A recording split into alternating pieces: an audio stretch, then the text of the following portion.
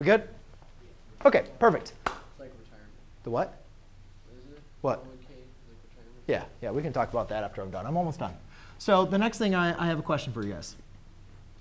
Um, what if, my question is, what if I wanted to say, how long is it going to take for you to double your money? So use compound it continuously. How long will it take for you to double your money? So if your initial investment is 5,200, that means your end result is going to be 10,400. Everybody follows? Equals E, I'm sorry, equals 5,200 times e to the 0.06 times t. So,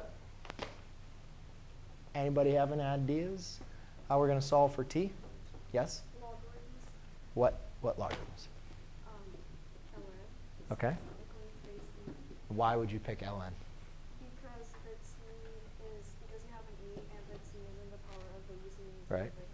But why use logarithms? How are logarithms related to exponential? So it's the inverse operation. Yes. Think about what we did at the beginning, right? They're inverses of each other. Now, if you don't forget that because you're biting your lanyard, let's go and take a look at the graph. Our exponential function, if you guys remember, looked like this. Y equals e to the x. Follow me? Yes? We know that it crossed at 1 comma 0. Remember, guys, this is what I taught last class period. Guys, I'm telling you, just follow with me. You'll have the last of the time. I'll give you plenty of time. Just wait. It's okay. No, just put it down. You'll have plenty of time. So, if we were going to reflect this to find the inverse, again, we don't know what the inverse is, or at least we're pretending we don't. We know that this is going to cross now at, oops, that's 0, 1, at 1 comma 0 and it looks something like this, right? That's what the inverse graph is. So there's a function for that that represents that, and that's what we were getting with Daria. And I'm not, I don't want to get too deep into this because obviously if we were actually teaching a true lesson or a true chapter on logarithms, I'd spend more time talking about logarithms. But I just want you guys to understand, e to the x, the inverse, what undoes e to the x is the inverse, which in this case is ln of x. So ln of x is your inverse of e. It undoes your e to the x. Remember, remember when we plugged in the function into its inverse, and what did you get back? You got, what did you get back? x. So if I take, if I say, if I say um, y is equal to e to the x, and y inverse is equal to ln of x, what happens when I plug in um, what happens when I plug in my function into my inverse? When I plug in ln of e to the x, what am I going to get? I'm going to get x. And isn't that what we want? We want whatever is going to be isolated. So let's look over here. First thing let's do, first thing we're going to want to do whenever we're solving an exponential equation, isolate the exponent. So the first thing I'll do is divide by 5200. And I get 2 equals e to the 0.06 t. Now, I'm not solving for x in this case. I'm solving for t. But I want to undo e to the 0.06 power, right? I got to undo that. So to undo that, I will take the ln, right? Remember what I did over here, guys? What did I do? I subtracted a 3 on both sides, correct? Right? Remember that equation? I like, you know, x plus 3 equals 5. Whatever you do on one side, you have to do on the other side. If you're going to take the ln on the right side, you got to take ln on the left side. So we have the ln of 2 is equal to ln of e gives you 0.06 t. Divide by 0.06, divide by 0.06.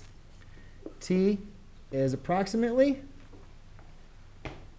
ln of 2 divided by, you get 11.55. So how long does it take, roughly? How long does it take for us to double our money?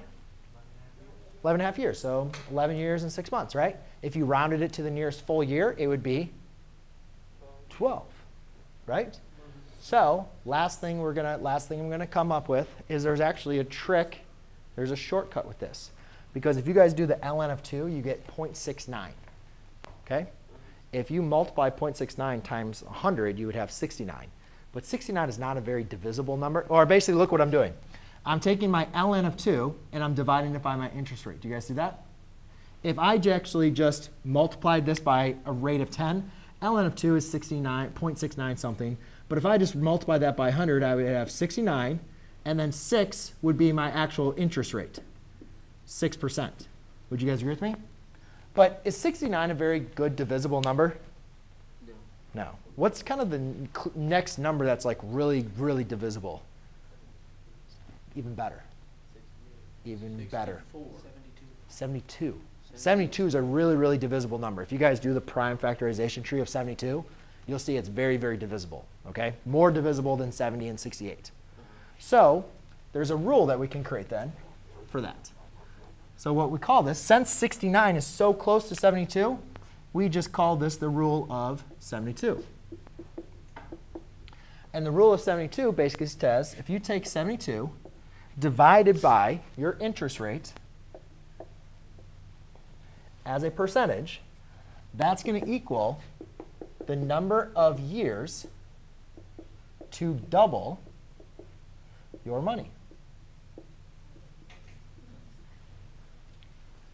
So, and does that work? Take 72 divided by 6. 72 divided by 6, put it, think about it in your head. How long is that? 12. If you're sitting there talking to your friends or you have to make a financial decision, is that good enough? Is that close enough for you to make some kind of decision? Yes, right? It's going to take 12 years. Hey, the higher your interest rate, right? The higher your interest rate, the shorter time it's going to take to double your money. The lower your interest rate, the more time it's going to take, right? Yes? So that, ladies and gentlemen, is the rule of 72.